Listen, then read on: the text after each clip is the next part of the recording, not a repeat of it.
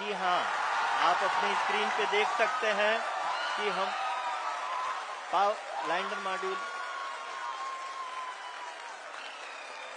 People are applauding. Let lander us all module wait to hear from the Secretary Department of Space and Chairman ISRO, Sri S. Som. Sir, we have achieved soft landing on the moon. India is on the moon. Sir,